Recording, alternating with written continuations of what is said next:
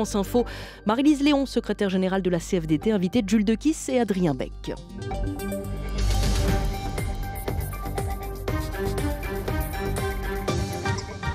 Euh, bonjour Marie-Lise Léon. Bonjour. Euh, beaucoup de questions euh, sociales, fiscales, l'assurance chômage et, beaucoup d'autres sujets dans l'actualité qui vous concernent directement. Après 100 jours au pouvoir pour Gabriel Attal à Matignon, quel regard vous avez, vous, sur ces un peu plus de trois premiers mois du, Premier ministre, vous, en tant que, présidente du secrétaire général du premier syndicat de France? Bah, C'est 100 jours où il y a eu beaucoup d'effets d'annonce, beaucoup de communication, assez peu d'actes. Donc on attend toujours voilà, des choses un peu plus concrètes et, puis euh, des effets d'annonce avec, euh, comme par exemple hier euh, sur l'éducation, des, des éléments qui sont plutôt du réchauffé ou qui sentent un peu la naphtaline parce que en termes de réchauffé, il y a des annonces faites par mmh. exemple sur le travail des enseignants qui est déjà accompli, le fait qu'il puisse aussi par exemple y avoir un contrat, des contrats d'établissement, des signatures de règlement intérieur dans les établissements, ce sont des choses qui existent déjà. Donc on attend des actes plus concrets et un peu de, un peu de nouveauté et un peu plus d'innovation de, sa part. Cette mobilisation nationale euh, contre la, violence des, jeunes que Gabriel Attal appelle de ses mm. voeux, vous trouvez que c'est du réchauffé cette, cette fin de la culture de l'excuse que veut Gabriel Attal Non, c'est pas du tout ce que je veux dire. C'est que je, je trouve c'est extrêmement important qu'on puisse s'attaquer à ces, problématiques. Il a d'ailleurs annoncé une concertation à laquelle la CFDT participera. C'est important de prendre le temps de comprendre et de prendre les bonnes, actions. Ce que je regrette, c'est que pendant les 100 jours, il y a eu beaucoup d'effets d'annonces, beaucoup d'annonces faites sans même une information au préalable des personnels concernés et que euh, donc voilà sur la méthode ça mériterait d'être euh, d'être un peu différent et puis d'avoir euh, ces effets d'annonce outre le fait qu'on se dise bon ça va être la solution mmh. miracle il y, a une fatigue en fait des enseignants et du monde de, l'éducation notamment parce que les annonces qui sont faites, soit ce sont des choses qui existent déjà, soit c'est des choses qui ont déjà été testées, qui ont été abandonnées. Pour une raison simple, c'est la question des manques de moyens. Et, euh, là-dessus, il n'y a pas de réponse. Vous, c'est en tant qu'organisation syndicale qui représente notamment les enseignants que vous mhm. allez participer à cette consultation on va participer mm. si on est invité, oui. Alors le monde des enseignants, mais le monde, le monde éducatif mm. dans sa globalité, c'est important de, l'élargir à, à l'ensemble des professionnels investis dans l'accueil euh, des jeunes. Alors au-delà de l'éducation nationale, il y a euh, une des promesses de Gabriel Attal qui était euh, dans son discours de politique générale, c'est désmicardiser la France. Ça fait donc euh, trois mois que le sujet est lancé.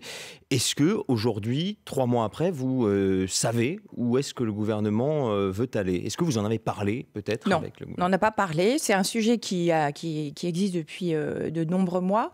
On l'avait déjà pointé au moment de la conférence sociale avec la première ministre de l'époque en octobre 2023 euh, sur la problématique euh, du SMIC. Alors, c'est quoi la problématique du SMIC? C'est savoir qui sont les SMICards. Les SMICards, ce sont des personnes qui sont au SMIC et ce sont majoritairement des femmes à 57%, qui sont euh, au salaire minimum ils sont 17% de la population active aujourd'hui, ce qui est énorme, ce qui n'a jamais été euh, euh, un chiffre qui n'a jamais été atteint depuis 20 ans.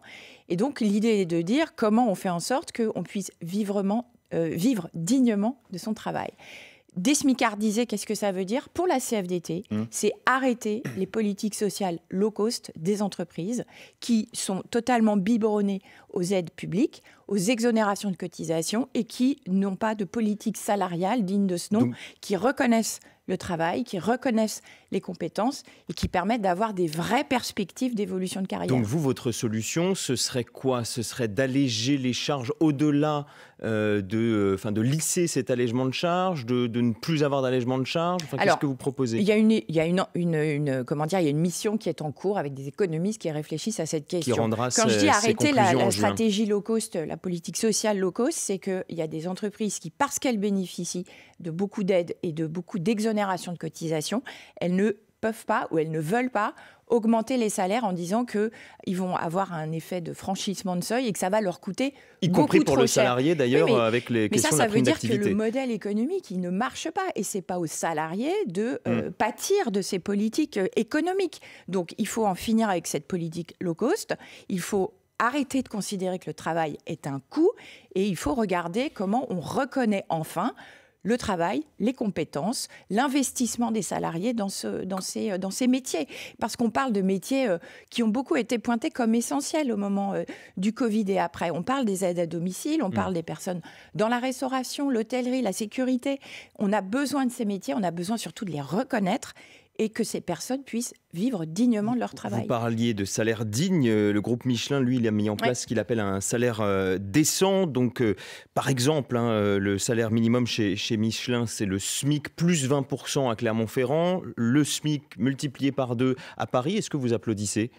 Je dis que c'est intéressant. On est, nous, CFDT, on est très impliqués dans une, alliance qu'on a appelée le pacte du pouvoir de vivre. Et justement, la question du, du salaire décent, c'est comment on peut vivre justement euh, de son travail au regard aussi de ses dépenses contraintes et on sait qu'elles ne mmh. sont pas les mêmes en fonction de là où on habite. Donc c'est une démarche intéressante ça ne fait pas forcément non plus euh, de Michelin un exemple social sur tous les sujets. Je sais qu'il y a des difficultés actuelles sur la, négociation, le partage de la valeur créée dans le groupe. Au-delà du cas de Michelin, euh, Marie-Lise Léon, euh, est-ce que vous êtes favorable donc à cette idée de régionalisation du SMIC, qu'il ne soit pas le même en ah fonction ah bah, Ça n'a rien à voir avec la régionalisation du SMIC. Là, on est sur non, l'idée que le salaire minimum. Non, alors ça non, parce que le salaire minimum, c'est un salaire qui doit à l'ensemble du, du, territoire national être oui, mais les entreprises, oui, mais là, on est sur des salaires bien au-delà du SMIC en ce qui concerne, en ce qui concerne Michelin. On est bien, bien hmm. au-delà du SMIC. Un tout dernier mot à l'autre bout de l'échelle, euh, Marie-Lise Léon, sur euh, les actionnaires de Stellantis. Ils ont validé le salaire euh, de cette semaine de, Carlos Tavares pour, pour hmm. l'année 2023. 36,5 millions hmm. d'euros. Est-ce qu'il faut un plafonnement de la rémunération des dirigeants oui, des entreprises. Oui, moi je pense que oui. Alors ça, c'est une, revendication que porte la CFDT depuis de nombreuses, de nombreuses années.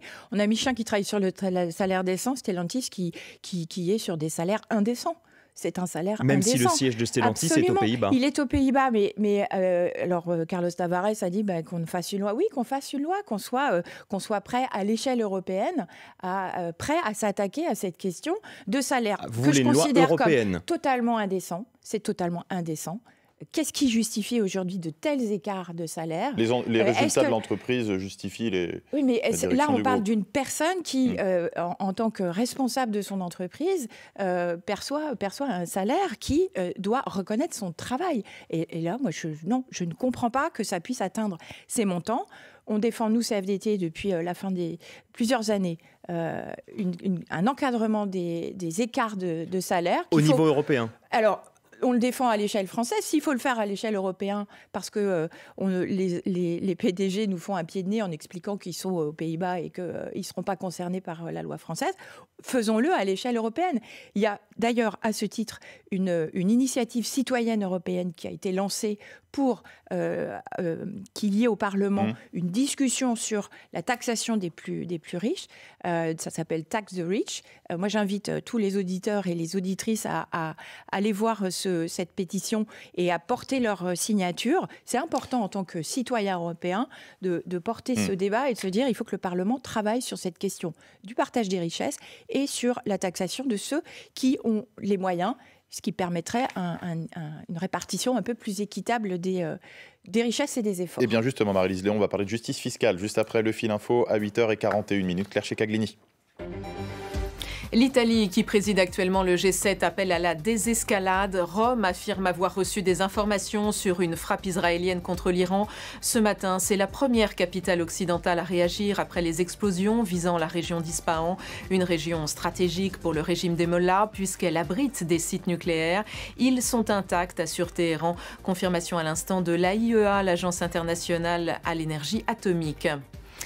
Hier, les États-Unis ont fait valoir sans surprise leur veto au Conseil de sécurité de l'ONU. Ils s'opposent à l'adhésion pleine et entière des Palestiniens aux Nations Unies. Un vote considéré comme une agression flagrante qui pousse le Moyen-Orient au bord du gouffre selon l'autorité palestinienne. À Grande-Sainte, un cortège en mémoire de Philippe partira à 11h euh, ce matin. Le jeune homme a été retrouvé mort en début de semaine. L'un des deux adolescents suspectés euh, de sa mort a reconnu avoir tendu un piège à la victime. Les Merlus chez les Aiglons affichent du match d'ouverture de la 30e journée de Ligue 1. Les footballeurs niçois 5e jouent pour une place européenne. Les Lorientais 16e se battent pour le maintien. Coup d'envoi à 21h. France Info. Le 8-30 France Info, Adrien Beck, Jules de Kiss. Et toujours avec Marie-Lise Léon, numéro 1 de la, de la CFDT, on parlait effectivement, euh, on a commencé à parler de salaire et donc le corollaire, la fiscalité. Euh, pour, euh, pour boucler le budget, vous, euh, vous évoquez la question des, des, recettes. Le gouvernement, justement, a lancé une mission sur la taxation des rentes. Nous allons regarder les revenus exceptionnels qui ne sont pas issus directement ou indirectement du travail. C'est ce que mhm. dit le député Jean-René Cazeneuve. Il est en charge de la mission. Est-ce que ça va dans le bon sens? Oui, ça va dans le bon sens. Il est plus que temps de regarder du côté des recettes. Enfin, on est dans un, une vraie difficulté avec le budget. Ça, la CFDT, elle ne nie absolument pas la, la la problématique de l'équilibre, mais c'est totalement insensé euh, que aujourd'hui le, retour à l'équilibre se fasse uniquement sur, euh, sur les dépenses. Et de moindres dépenses, c'est euh, des moindres dépenses sociales, donc qui concernent les plus fragiles et les plus faibles. Et c'est totalement inacceptable d'avoir cette, cette non-répartition des, des efforts. Il faut il faut qu'il y ait une répartition des efforts, mais qu'elle soit équitable. Et donc nous, la CFDT, effectivement, on est extrêmement attachés à ce qu'on puisse explorer euh, cette question des, euh, des, nouvelles, des nouvelles recettes. On a d'ailleurs fait la proposition à Bruno Le Maire d'avoir une, une, une, conférence des, des, finances publiques. je l'ai rencontré, il m'a dit que c'était extrêmement intéressant. Ça doit dater du du 2 avril et depuis, pas de son, pas d'image. Donc, euh, visiblement, il a changé d'avis. Vous parlez des recettes, ça veut dire vous pensez à quoi comme, euh, comme peut-être nouvelle taxe ou augmentation nouvelle taxe, Alors la question est de, taxer à tout va. La question est de regarder là où il peut y avoir une meilleure contribution de ceux qui ont les moyens de contribuer à l'effort, à l'effort euh, justement de rétablissement des comptes publics. Ça peut être euh, la taxation des transactions financières, ça peut être une taxation pour les plus, plus pour les plus, les plus hauts revenus.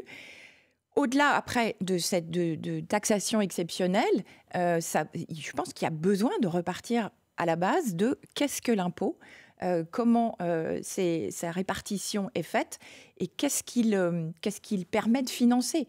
Aujourd'hui, je pense que c'est grave d'un point de vue démocratique de ne pas avoir des citoyens qui consentent à l'impôt parce que ils savent à quoi cet argent Mais concrètement, ça veut dire quoi Taxer vraiment les plus riches sur l'impôt sur le revenu, sur changer le format d'impôt sur la fortune C'est euh, revoir, euh, remettre, oui, remettre à plat l'ensemble de ces, l'ensemble de ces éléments, et puis, euh, et puis regarder les autres revenus que ceux du travail. les revenus du capital ne hmm. font pas aujourd'hui l'objet de la même taxation, et je pense que ça doit aussi faire partie des, des, choses qu'il faut intégrer aujourd'hui en 2024. Les revenus du capital sont quasiment au moins aussi importants que ceux du travail, donc ça nécessite de regarder comment ces revenus permettent aussi de contribuer à la, à la solidarité hmm. nationale. Alors, euh, vous le disiez, la CFDT regarde de près le, budget. Qu'est-ce que vous pensez de, l'engagement de Gabriel Attal qui sera tenu Il l'a rappelé hier, 2 milliards de baisse d'impôts. Euh, à nouveau, il le garantit? Bah, il le garantit, mais comment il le finance?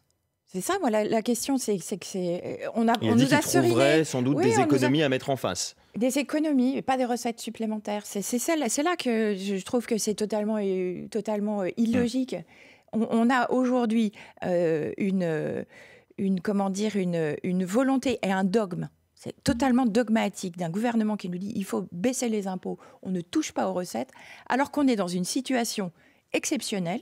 On nous a seriné pendant le Covid qu'il n'y avait pas d'argent, euh, qu'il fallait euh, protéger les Français, quoi qu'il en coûte. Aujourd'hui, on nous dit il n'y a pas d'argent magique, mais ce sont quand même, c'est quand même dans la poche des salariés qui vont aller chercher l'argent. C'est ça qui me pose problème aujourd'hui. Marie-Lise Léon, la, CGT menace de grève dans la fonction publique euh, au moment des, Jeux Olympiques, préavis euh, qui a commencé cette semaine. Mmh. Réaction notamment euh, à la piste évoquée par le ministre de la fonction publique, Stanislas Guérini, de faciliter le licenciement des fonctionnaires. Est-ce que cette, cette idée, cette proposition, vous la prenez comme une déclaration de guerre, comme dirait Sophie Binet, ou comme une provocation? C'est une provocation, c'est le témoignage d'une totale méconnaissance de ce qu'est le travail des fonctionnaires. Nous, la CFDT, c'est clair, on est contre euh, la, rémunération euh, au mérite, on est contre la facilitation. Ça existe déjà. Ça existe déjà, mais et donc, mais c'est pas le sujet. Mais le 13 sujet, licenciements de fonctionnaires l'année dernière, c'est très très peu. Vous savez combien il y a de postes vacants dans les fonctions publiques? Entre 60 000 et 70 000. Donc le problème de la fonction publique aujourd'hui, c'est certainement pas la question des licenciements, c'est la question de faire venir des fonctionnaires ou de les garder. Aujourd'hui, ce que nous disent les fonctionnaires, qui soient dans l'hospitalière, dans l'éducation, dans la territoriale, ils nous disent on veut avoir les moyens de bien faire notre travail. on est engagé, on aime ce que l'on fait, on en a marre qu'on nous tape sur euh, la tête à longueur de journée. Donc moi, je pense qu'aujourd'hui, ce qu'a fait le, le ministre Guérini, c'est de la com. Il pense que c'est populaire de taper sur les fonctionnaires, comme on a d'autres ministres qui pensent que c'est populaire de taper sur les chômeurs. Moi, je dis, c'est une politique mortifère qui ne fait que monter les uns contre les autres et ça n'apporte aucune solution. Alors en tout cas, la réaction euh, de la CGT, c'est donc ce préavis de grève. Emmanuel Macron, lui, il a dit cette semaine, euh, j'ai confiance dans les syndicats, ils ont l'esprit de responsabilité, ils seront à nos côtés pour les JO. Mmh. Le chef de l'État qui veut donc une, une trêve olympique en matière sera- sociale, est-ce que vous serez à ses La côtés CFDT, comme il elle le sera demande? responsable, mais elle ne sera pas responsable pour deux. Si à un moment, les, les, les employeurs, parce que ça ne concerne pas que les fonctionnaires quand il s'agit des Jeux olympiques, si les employeurs ne sont pas au rendez-vous et ne prennent pas leurs responsabilités pour pouvoir faire en sorte que les travailleurs et les travailleuses qui vont être durement impactés par les Jeux olympiques, nous, ça fait des, ça fait des mois qu'on alerte sur le fait que ça va être très compliqué de maintenir l'activité économique et de pouvoir aller travailler. euh, De Tout le monde ne va pas pouvoir télétravailler en, en plus. Si on, on sera responsable, vous avez mais on ne sera pas responsable pour deux. On ne sera pas responsable pour deux. Ça, ça veut dire qu'il est plus que temps que tout le monde se mette autour de la table et qu'on voit les problématiques locales et, et très spécifiques en fonction des métiers, en fonction des, des activités, et qu'il y ait Mais- enfin des discussions sur ce sujet. Ça a commencé un peu dans la, ça a commencé dans les fonctions publiques. Donc la situation n'est pas à ce stade pour la CFDT de dire euh, lançons un, un préavis de grève. Mais qu'est-ce que vous dites euh, ce matin? Parce que euh, Emmanuel Macron promet que la France sera exemplaire au niveau des conditions de travail pour, pour les travailleurs. Et là, vous semblez pointer du doigt les, Mais- les employeurs, justement. Vous dites on- pour l'instant, on ne on répond pas présent, on ne tient pas nos engagements? Non, ils tiennent pas leurs engagements. En tout cas, il n'y a pas de discussion sérieuse pour se dire concrètement, je suis euh, travailleur, euh, je, je travaille dans le nettoyage, je travaille dans Mhm. une entreprise qui fait du nettoyage. Je ne sais pas aujourd'hui quels seront, euh, le- quels seront mes horaires, quels seront les jours où je pourrais aller travailler, les modalités d'accès au lieu où je dois pouvoir aller travailler, etc. C'est totalement flou. Euh, on a alerté depuis plusieurs, euh, plusieurs mois pour dire il est urgent d'avoir une photo globale et des discussions point par Mmh. point et euh, euh, localement, euh, endroit par endroit. Aujourd'hui, c'est pas le cas. Bah, voilà. Et donc, en l'état Mais- d'un mot, trêve olympique ou pas? Pour l'instant, pas Bah, d'engagement à mais- et- s'y et trêve tenir. olympique, Ça veut dire pas de grève pendant les. JO ou juste avant Non, les mais JO là, là, moi, je, je, je, Mmh. je, je vous dis, on ne sera pas responsable pour deux. Tout le monde doit prendre ses responsabilités. Les employeurs, les, euh, les pouvoirs publics, donc l'État employeur et les organisations syndicales, qui le souhaitent, elles seront autour de la table pour discuter. Et avant cela, dans une dizaine du jour, le, le 1er mai, est-ce que vous appelez justement à une très forte mobilisation pour euh, envoyer euh, un message? Alors nous, on sera mobilisés le 1er mai dans beaucoup, beaucoup de villes de, de- de France. Vous pensez qu'il y aura du monde? Moi, mo- bah, c'est la fête, oui, c'est Mmh. c'est- un moment important pour le monde du travail. Pour la CFDT, on souhaite faire de ce 1er mai un 1er mai européen, parce que c'est extrêmement important que les travailleurs et les travailleuses se mobilisent euh, pour une Europe plus sociale, plus solidaire, plus écologique. Ça, c'est un Mm. des sujets qui passe complètement sous les radars. J'ai envie de lancer un avis de recherche. Où est passée la transition écologique euh, euh, pour le gouvernement? Donc, c'est aussi un, un Mm. enjeu européen extrêmement fort. Marie-Lise Léon, secrétaire générale de la CFDT, avec nous. On se retrouve juste après le fil info à 9h10. Claire Checaglini. Aucun site nucléaire n'a été endommagé en Iran, selon l'Agence internationale à l'énergie atomique. L'AIEA continue d'appeler chacun à la retenue et répète que jamais des installations nucléaires ne doivent être ciblées lors de conflits. Ce matin, trois explosions ont eu lieu non loin de Natanz, où l'uranium uran- iranien est enrichi. Pas de commentaire officiel côté israélien.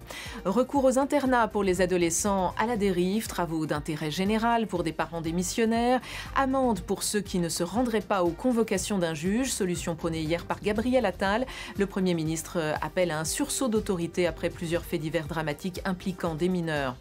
Les cas de transmission de la grippe aviaire à l'homme inquiètent grandement l'OMS. Depuis l'an dernier, près de 900 personnes ont été infectées par le H5N1. La moitié en sont mortes. Icône de la pop, aussi détestée des républicains qu'aimée des démocrates, Taylor Swift sort son 11e album en français, Le Cercle des poètes détestés, un nouvel opus synonyme dans l'industrie musicale, la mégastar américaine ayant déjà écoulé plus de 200 millions d'albums dans le monde. France Info. Le 8-30 France Info. Adrien Beck, Jules de Kiss. Et Marie-Lise Léon, numéro 1 de la, de la CFDT. Le gouvernement, Marie-Lise Léon, veut durcir les, les règles de l'assurance chômage. Pour cela, euh, il veut que les syndicats et le patronat rouvrent de Mm. nouvelles négociations. Gabriel Attal l'a répété euh, hier soir. Est-ce que d'ailleurs vous acceptez déjà de, de continuer, de recommencer à négocier ou est-ce que vous dites que ce ne sera que de toute façon pour la forme? Alors moi j'attends de, j'attends de savoir s'ils vont vraiment aller au bout parce qu'on a négocié en 2023 euh, et on a donc un, un accord qui a pas complètement euh, euh, finalisé mais qui est sur la table et qui permettait euh, de, faire quelques économies et d'ouvrir des droits pour des nouvelles des nouveaux demandeurs d'emploi notamment les plus jeunes. Ça c'est un sujet extrêmement important pour la CFDT. Aujourd'hui moi, j'attends de savoir, avant même de dire il faut, est-ce qu'on va ouvrir une nouvelle négociation Qu'est-ce que le gouvernement veut faire de, cet accord? Après, s'ils veulent, s'ils veulent réouvrir une négociation, moi, la question que j'ai envie de poser, c'est pourquoi faire? C'est quoi l'objectif? On a une idée quand même, euh, Bah, ministre moi, Gabriel, je- sur la, je- la je- durée de cotisation nécessaire, la durée d'indemnisation, Oui, etc. mais c'est quoi Ce l'objectif serait un durcissement, hein, C'est- l'idée présentée. euh, Ouais, l'objectif, c'est de diminuer les droits. Mais pourquoi Pourquoi il faut diminuer les droits des chômeurs? Les droits des ch- les chômeurs et les chômeuses ne sont pas des privilégiés, ne font pas, euh, ne sont pas au Pour les chômage. ramener à l'emploi, dit le gouvernement. Oui, mais là, alors là, c'est ça, le plein emploi, pour le coup, c'est le fauné que présente à chaque fois le gouvernement. L'objectif, c'est le budget. On revient sur la même discussion d'être omnubilé par les dépenses euh, du, de la part du gouvernement.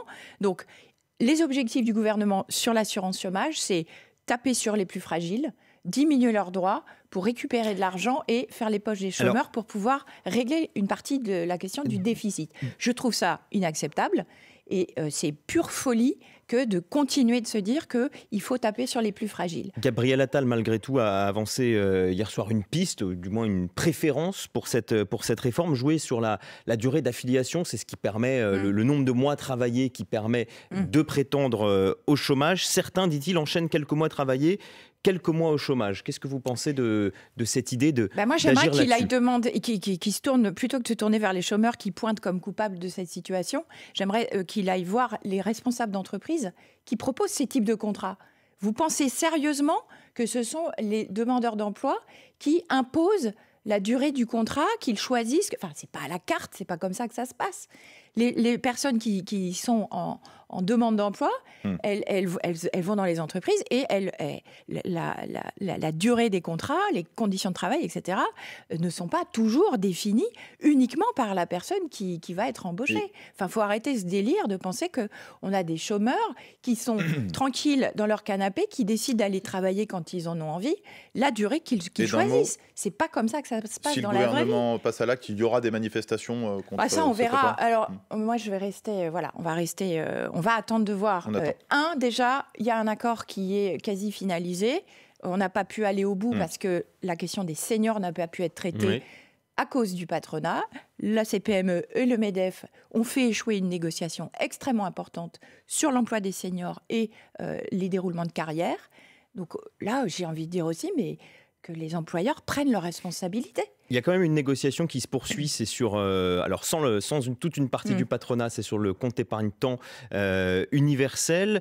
Euh, vous espérez aboutir la semaine prochaine, a priori? Oui, oui, on est très, très. C'est les Avec une loi, démarrées. à quelle Ouais. échéance? Alors, le compte épargne-temps universel, c'est c'est un, un élément extrêmement important pour la CFDT parce que c'est comment on pense le temps de travail tout au long de la vie et pas uniquement à l'échelle de la semaine. L'idée, on le comment- dit, hein, c'est que si on change d'entreprise, on garde, euh, on garde les du jours qu'on. Alors, dans les grandes entreprises, il y a beaucoup de salariés qui ont des comptes épargne-temps, ça existe. Et donc l'idée, c'est de le faire pour tout le monde, les fonctions publiques, pour les salariés des petites entreprises. Donc c'est le U de universel, du compte épargne-temps universel. Hmm. Et donc que ce soit un compte attaché aux personnes et pas à l'entreprise, ce qui fait que la personne peut avoir cumulé du temps et l'utiliser lorsqu'elle en a envie en fonction de ses projets professionnels, personnels. Donc ça, c'est un, un projet qui me semble très euh, novateur. Pour le coup, là, euh, on a quitté euh, la télé en noir et blanc pour aller sur quelque chose de vraiment de 2024. C'est une attente des travailleurs. Et donc, on doit conclure mardi prochain. Oui.